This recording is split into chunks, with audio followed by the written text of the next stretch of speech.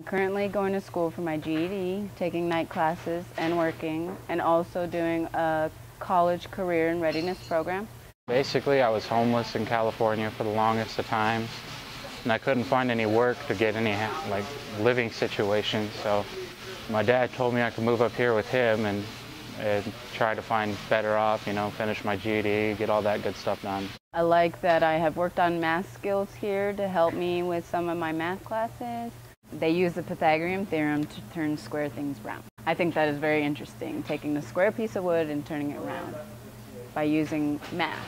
The lowest scores that we're seeing around basic skills are not in the reading and writing, but rather in the math area because they have different learning styles, kinesthetic or um, more visual learning styles, more interactive. Work Systems funded the build of uh, one vessel to really uh, create an opportunity for young people to apply math learning and to increase their math skills through contextualized learning in, in the process of building a boat. I've learned to not really doubt myself so much that I, I can, you know, use my brain to solve different problems and get things done. The transformation that happened for these young people around their confidence and their soft skills around suiting up, showing up, teamwork, communication were phenomenal. Oh, hands-on experience. That's what I love about this. I, I would much prefer this over a classroom any day. Oh, problem solving. that is one big thing that I've learned with boat building is there's a lot of problems. No matter what you do, you're always going to run into a problem every day.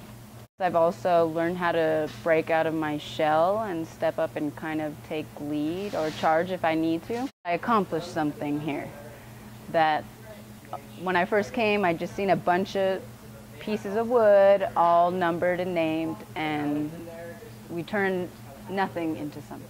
Once you do something and you stick through with it till the end, there's you have no limits really. After this, you know, I would uh, I would start making longboards and such. Start making skateboards. Go back to ADX, join there as a member, and start making boards. I got a job now, working with college, and I'm really, really digging it. This boat thing really helped with the job reference. I finished my GED recently. Then I'm going to be jumping into the college itself for a welding certificate.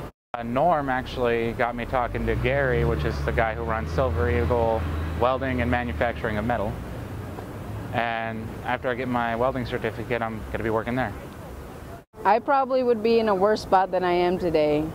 I was down, I didn't have anything going on, and this has just kicked it into gear for me.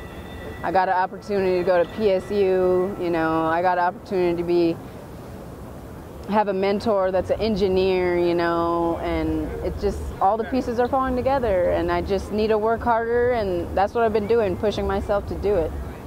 Cuz that's the only thing that's going to get me to where I want to be. And if I can overcome this at the age I am now, I'm sure I'll be fine.